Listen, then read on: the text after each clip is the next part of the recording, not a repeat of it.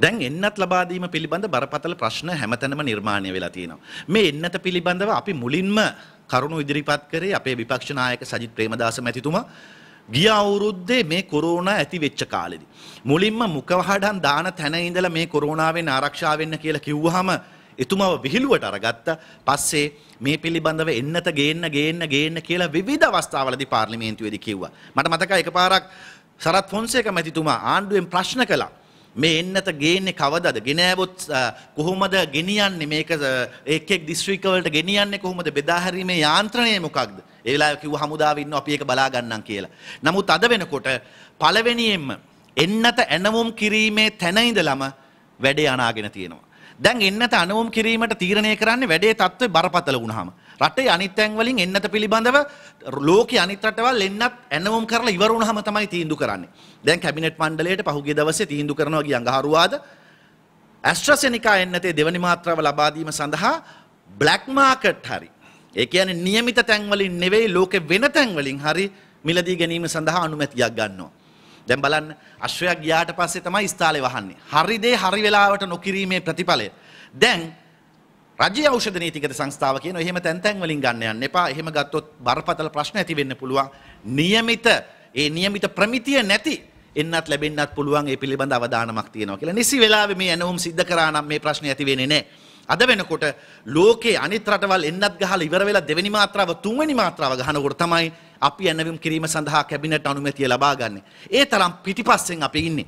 ඒ තරම් පිටිපස්සෙන් තමයි අපේ මිනිස්සුන්ගේ ජීවිත ගැන අපේ ආණ්ඩුව කල්පනා කරේ. අපේ ආණ්ඩුව කල්පනා කරා මිනිස්සුන්ගේ ජීවිත රකින්නවා වෙනුවට මුට්ටි ගඟට දාලා එහෙම නැත්තම් වෙන වෙන පැණි මිනිස්සුන්ට පොවල ආණ්ඩුව බැලුවා ජනතාව රවට්ටලා මේ වැඩේ කරගන්න.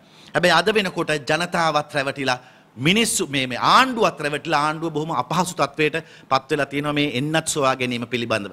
මෙයා හිතුවේ මේ ඩොලර් අර්බුදය තියෙන නිසා ලංකාවේ තියෙන මේ බරපතල ඩොලර් ප්‍රශ්න නිසා මේක කොහොම හරි මේ එන්නත් කරණය වලක්වා ගැනීම සඳහා තමයි ආණ්ඩුව උත්සාහ කරේ. හැබැයි ඩොලර් ප්‍රශ්නයක් තිබුණට කියන්නේ එහෙම ප්‍රශ්නයක් නැහැ කියලා ජොන්සන් ඇමතිතුමා ඒ වගේම නාමල් රාජපක්ෂ මන්ත්‍රීතුමා කියන්නේ සල්ලි වලින් කිසිම ප්‍රශ්නයක් නැහැ කියලා.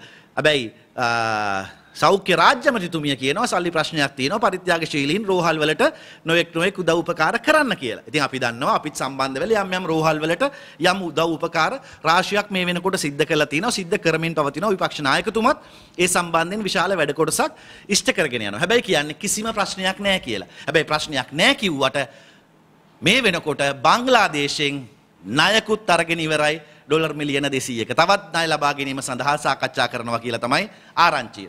හැබැයි Tamanගේ ප්‍රමුඛතා පිළිබඳව අවශ්‍යතාවය එන්නත් කරණය තමයි වැදගත්. එන්නත් කරණයට තමයි සල්ලි නැත්තේ.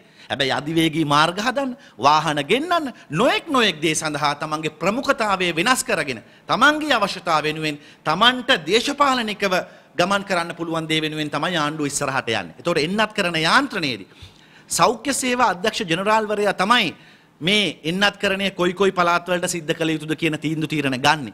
ඒ අරගෙන ඒ ප්‍රාදේශීය තීන්දුව තීරණ අරගෙන ඒ සෞඛ්‍ය කාර්ය මණ්ඩල හරහා ඒ ප්‍රාදේශීය සෞඛ්‍ය වෛද්‍ය නිලධාරී කාර්යාල හරහා මේ බෙදා හැරීම සිද්ධ කරනවා.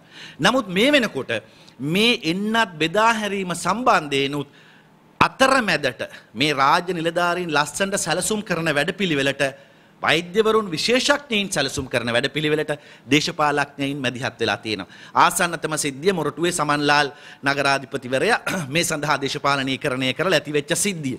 මේක මොරටුවේ ඇතිවෙච්ච සිද්ධිය විතරක් නෙවෙයි. මේ වෙනකොට කුරුණෑගලත් ඒ තත්වෙම චිට් කෑල්ලට එන්නත ගහන තැනටපත් වෙලා තියෙනවා. මිනිස්සුන්ගේ ජීවිතත් එක්ක දේශපාලනය කරන තැනට මේක පත් වෙලා මේක හැමදාම එහෙමයි. හැමදාම මේ අයගේ ප්‍රතිපත්තිය මේක. හැබැයි මිනිස්සුන්ගේ ජීවිතත් එක්ක මේ දේශපාලනය කරන එක 5000 බෙදනකොට දේශපාලනය කරා සමෘද්ධිය දෙනකොට දේශපාලනය කරා මොනවා දුන්නත් දේශපාලනයට තමයි දුන්නේ. අර රැකී ආරක්ෂා බෙදනකොට දේශපාලනය කරා අර අපස සාමාන්‍ය පෙළ අසමත් අයට හැම එකටම දේශපාලනය කරා වගේ මේ එන්නතටත් දේශපාලනය කරා. ඒ විතරක් නෙවෙයි ලැජ්ජයි කියන්න. පොලිස් දෙපාර්තමේන්තුවට ලැබෙන එන්නත් ටිකෙන් පොලිස් ක්ෂේත්‍ර බලකා මූලස්ථානයේදී එතන පොලිසියේ අයට ගහනවා වෙනුවට අමාත්‍යංශයේ ලේඛනය කියලා මහ විශාල පිරිසකට ලොකු ලොකු වාහන වලින් එන මුදලාලිලාට තමන්ගේ හිතවතුන්ට අමාත්‍යංශයේ ලේකම්වරුන්ගේ නොයෙක් නොයෙක් අයගේ හිතවතුන්ට ලයිස්තු පිටින් ගැහුවා. කාසල් රෝහලේ විදියටම සිද්ධියක් වුණා. තවත් තවත් නොයෙක් නොයෙක් තැන්වල තමන්ගේ හිතවතුන්ට වෙනම ලයිස්සු හරහා එන්නත් කරණයක් සිද්ධ වුණා. ලැජ්ජයි. මේ එන්නත් කරණය සිද්ධ කරන්න තිබුණ මීට වඩා වෙනස් විදියකට. ලෝකේ බොහෝ රටවල් ක්‍රියාත්මක කරේ මේ ප්‍රමුඛතාවල් හඳුනාගත්තේ මේ විදියට නෙවෙයි. සෞඛ්‍යංශ වගේ ඉදිරි පෙළ ක්‍රියාත්මක වෙන අයට ප්‍රමුඛතාවයක් දුන්නා. හැබැයි ඊට අමතරව රටේ ප්‍රමුඛතාවය දුන්නේ වයස අනුව. වයස අවුරුදු 70ට වැඩි, හැට පහට වැඩි හැටට වැඩි එහෙම තමයි එක එක කැලිබර්ස් අරගෙන රටේ එන්නත් කරන්නේ සිද්ධ කරේ. නමුත් අපේ රටේ මොකද්ද කරේ? කලාකරුවෝ කියලා තෝරගත්තා. එහෙම නැත්නම් මාධ්‍යවේදීන් කියලා අපේ කණ්ඩායම් තෝරගත්තා. එහෙම නැත්නම් තවත් කණ්ඩායම් තෝරගත්තා. එහෙම Tamanට හිතවත් හිතවත් අය. ඒකත් කමන්නේ නැහැ වෘත්තීන් අනුව. නමුත් තමන්ගේ දේශපාලන හිතවත්කමට චිට් එකට එහෙම නැත්නම් හොරට ලයිස්සුවෙන් එන්නත් කරන තැනට ඉතාමත්ම පහත් තැනට මේ ආණ්ඩුව පත් වෙලා තියෙනවා. මේක ඉතාමත්ම ඉක්මනින් නිවැරදි කළ යුතුයි. ඒ සඳහා රජයේ මැදිහත් විය යුතුයි කියන කාරණාව අපි මුලින්ම මේ වෙලාවේ සඳහන් කරනවා.